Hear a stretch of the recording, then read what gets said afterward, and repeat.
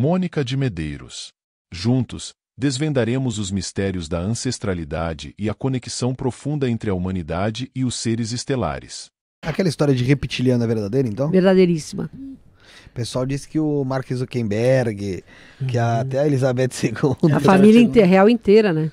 Mas É, você acha que isso é real? Que a família real ali. Ah, eu não acho. Eu acho que sim. A, a gente sabe que quando os draconianos aportaram na África, lá, né, logo depois do dilúvio bíblico, um pouco depois, eles fizeram cruzamentos entre eles para manter o DNA puro. Então, mexia com o humano, mas fizeram com o DNA deles.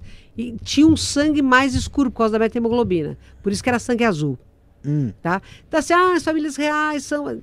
Talvez sim, talvez não, isso acho pouco importante. Mas é óbvio que existem sim humanos com essa raiz. Os Illuminatis têm essa raiz. Vivem no meio da gente aqui. Vivem, cara, estão aí. Estão aí posando de santo.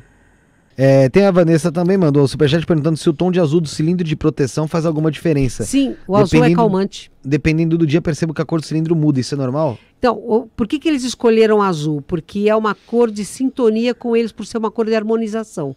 Tá? Ele acalma, harmoniza, mas existem momentos que esse cilindro pode variar, mas dentro do azul. Ele pode ficar com Sim. um tom mais escuro ou mais claro, mas sempre dentro do azul. Sim. É, vamos lá então. Vamos. Daqui a pouco o Bruno seleciona algumas perguntas aí do chat. O pessoal perguntando se os Beatles são rep- reptilianos. E mandou um abraço pro Elder Lopes, que já teve aqui. Um abraço pro Elder Lopes. Os Beatles têm alguma coisa a ver com isso ou Acho não que era não, época? Não, né? nada a ver. Tem Só muito- curtir a música, né? Tem muito. É. Falam que muitos famosos, né? Tipo, eles pegam muito no- nessa questão de famosos, tipo, da, da família real, do, do Mark Zuckerberg, dos Beatles, O Bush. o né? Bush também. Que, na verdade, cara, tem, tem muitos desses caras que têm muito poder que são Illuminati mesmo. Aham. Fazem parte desse complô para manter a humanidade cega, surda e burra. Você entendeu? Sim. São mesmo. Agora, eles são reptilianos? Mas não, eles são é, parceiros do- dos draconianos. Não necessariamente tem que ser reptiliano. Não, não é assim, patognomônico, entendeu? Aham. Você é reptiliano, você é do mal. Isso não é verdade. Que se é um ET, você está lá numa nave, aí você vê qualquer telejornal do planeta Terra. Todos os adâmicos são monstruosos, porque esse telejornal só posta coisa, ruim. Só tragédia. Isso não é verdade, entendeu? A gente não pode generalizar. Sabe qual que é o problema da humanidade? É God. Generalizar, omitir e distorcer. Esse, que é, o problema. E outra coisa, muitos aí devem viver no, anoni- no anonimato. Total, eles não querem Só saber. fazendo. Agora que tem o Elon Musk aí botando a cara para tomar tapa. Por quê? Você acha que ele é. Eu Ele, tenho certeza.